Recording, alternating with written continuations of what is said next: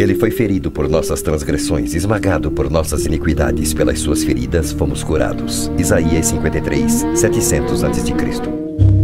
Abriga-me contra o mal, Senhor. Confio em ti. Tu és meu refúgio. Pai, perdoa-os. Eles não sabem o que fazem. Acreditas mesmo que um homem seja capaz de suportar todo o fardo de pecados? Nenhum homem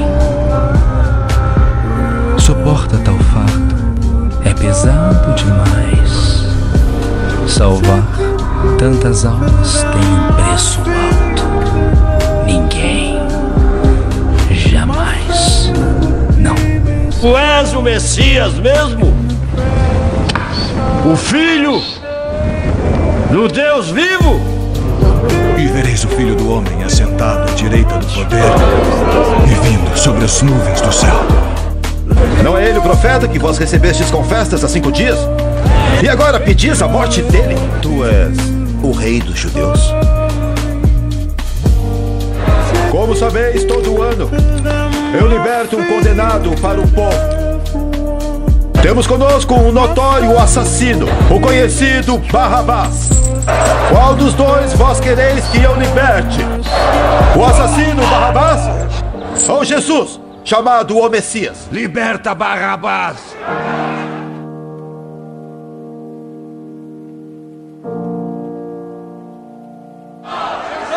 Pergunto mais uma vez: qual desses dois devo libertar? Ele não é! O Messias é um impostor, um blasfemador! Liberta Barrabás! Eu, porém, vos digo: Amai os vossos inimigos e orai pelos que vos perseguem. Pois se amardes apenas os que vos amam, que recompensa tereis?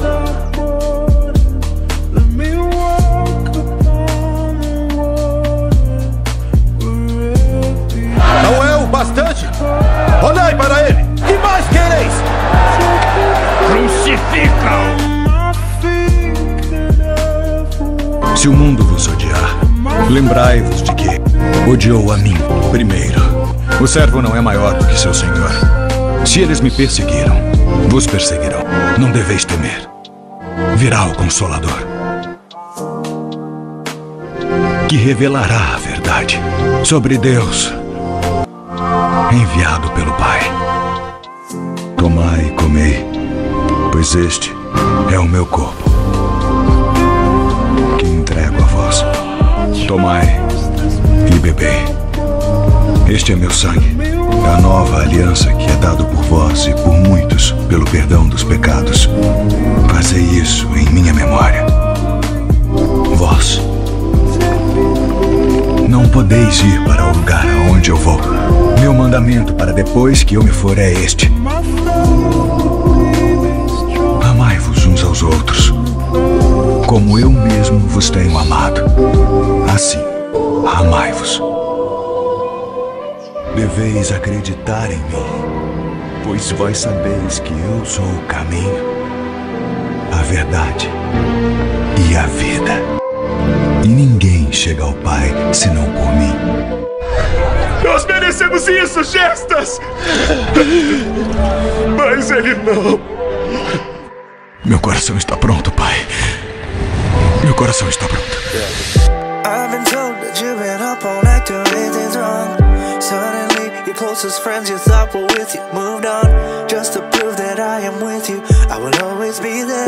Don't be scared, girl, just look up from all the way down here.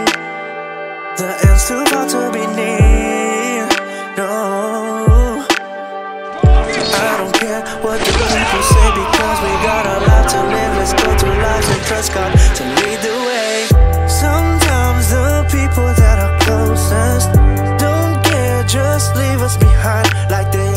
us to be in their timeline Like we're living their agenda that ain't even mine. Not being able to do what we want. Not being able to say what we want. Just know that we got someone to turn to. Let's just pray and let them work too.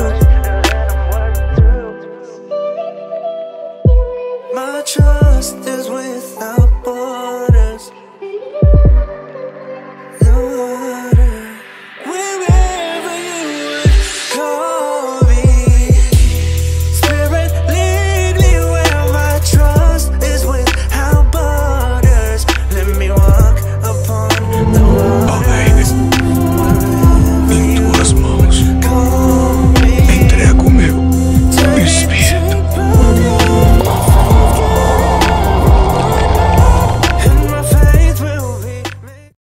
Jesus, um agitador.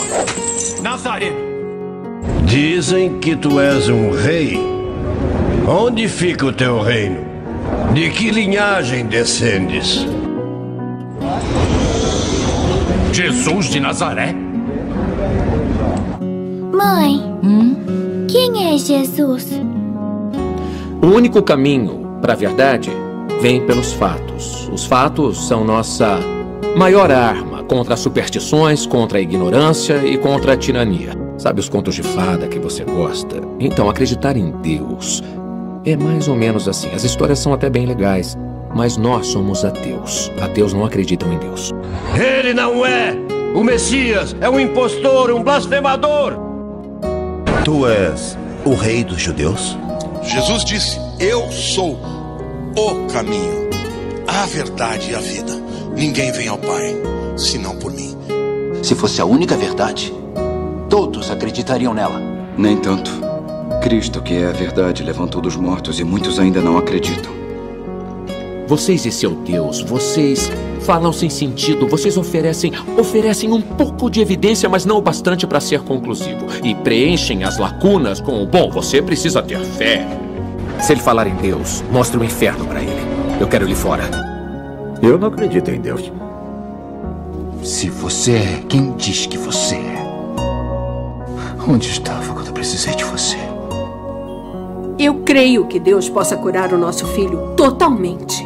Foi então que, depois de uma hora sem nenhum sinal de vida, Joyce, a mãe do John, orou. E a pulsação de John voltou. Espírito Santo, Espírito Santo salvar o meu filho! Se Deus fosse real,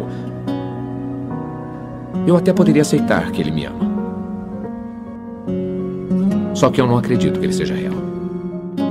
Você sabia que se a gravidade fosse um pouco mais forte, o universo entraria em colapso? Eu não sabia.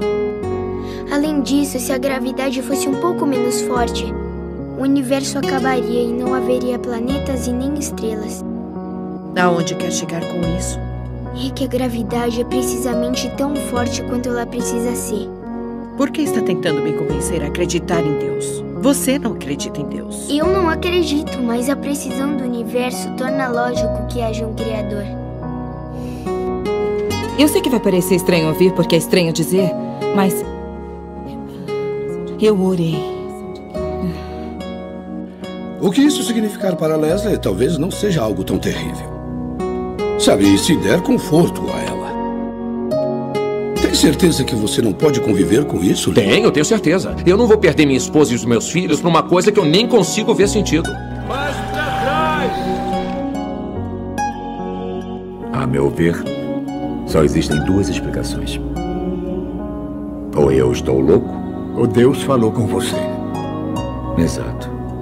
A lenda da ressurreição é mais uma lenda do que uma história, não é? Removerei de você seu coração de pedra e lhe darei um de carne. Há pelo menos nove fontes antigas dentro e fora da Bíblia confirmando que discípulos e outros encontraram Jesus depois da crucificação. Mas eles já eram seguidores de Jesus Cristo. Bom, não todos. Pense em Saulo de Tarso. Ele originalmente era perseguidor de cristãos. Ele os caçava e os matava. Eu sou um homem perverso. Mas morreu como o apóstolo Paulo, proclamando que Jesus era o Filho de Deus. Mas não podemos nos enganar, doutor. Pessoas morrem por mentiras o tempo todo. Se Cristo não tivesse ressuscitado, seria vã nossa pregação e vã nossa fé. Mas olha só a diferença. As pessoas não bebem veneno de propósito por algo que sabem que é mentira. Homens não morrem por algo de que duvidam. 48 horas atrás, os pulmões do John estavam cheios de sangue. Ele precisou de adrenalina constante só para manter o coração batendo. Os leucócitos eram consumidos mais rapidamente que qualquer paciente que eu já vi. O cérebro dele sofria uma uma devastação neurológica e ao mesmo tempo todos os seus órgãos nobres entravam em falência. Where my trust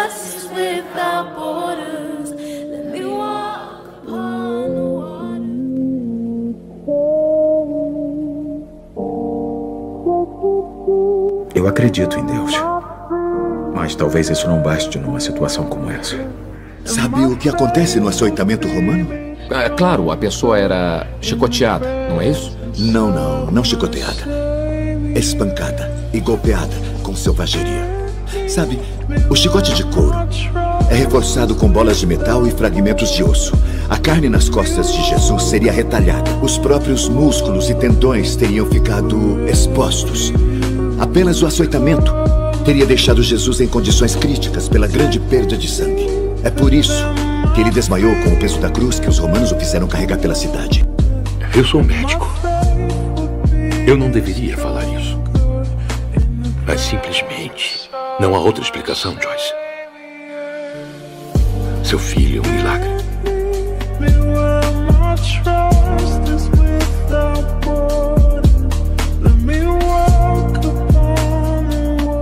Mas por que ele faria isso? Porque permitiu que fosse morto. Se ele é realmente o filho de Deus, por que não usar seu poder para defender a própria vida? É realmente muito simples. O amor. O amor. Mas quando as evidências serão suficientes para você? Para de me culpar e é a igreja e Deus e faça o seu trabalho. Junte as provas, siga os fatos e escreva a história, ganhando ou perdendo. Jesus Cristo morreu naquela cruz. O senhor não está me dizendo o que eu esperava. E se for verdade, você não iria querer saber? O único caminho para a verdade é pelos fatos. Os primeiros registros dizem que Jesus foi enterrado na tumba. A tumba vazia é baseada em evidência. Evidência não é o seu negócio? A fé é evidência de coisas que não podemos que talvez seja mais real do que qualquer coisa que já senti na minha vida.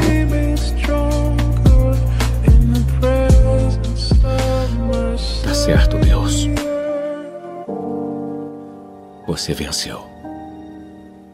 Que acreditar, somado a aceitar, é se converter. Meu Deus, agradeço por me dar força e convicção para concluir a tarefa que me confiou. Obrigado por me guiar sem hesitar através de muitos obstáculos em meu caminho.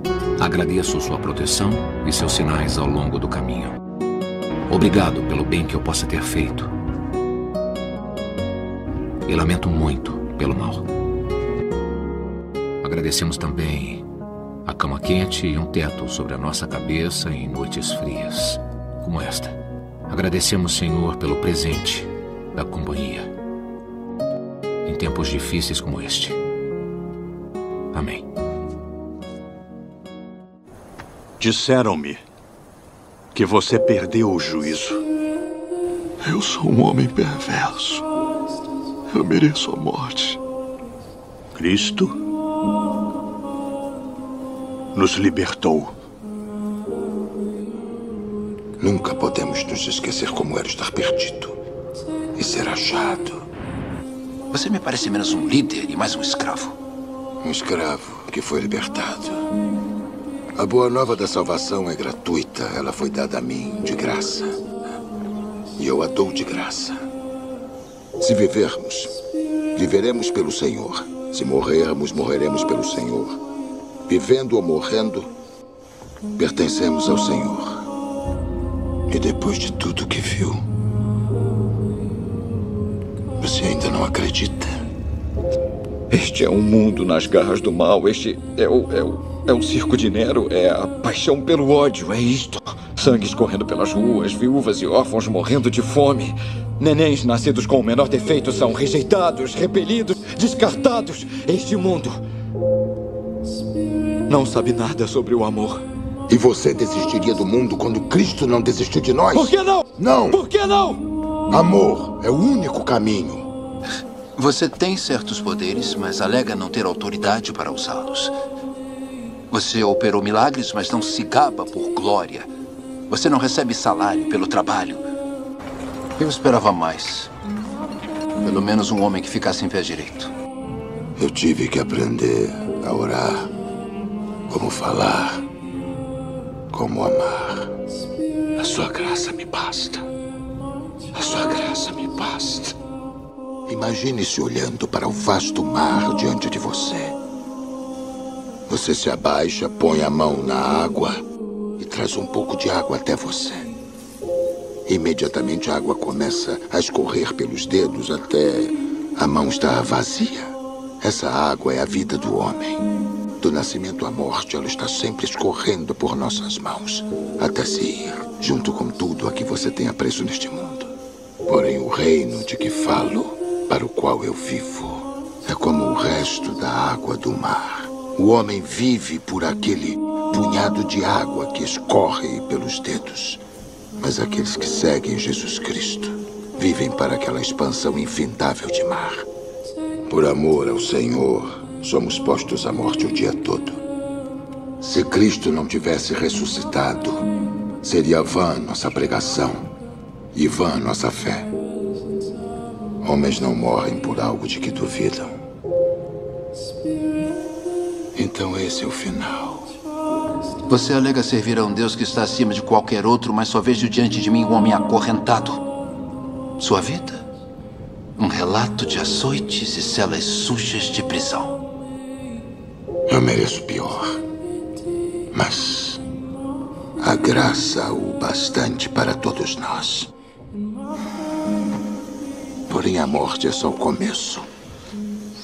Vamos nos reencontrar numa nova estrada, tenho certeza.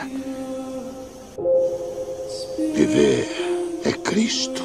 Morrer é lucro. Eu gostei disso.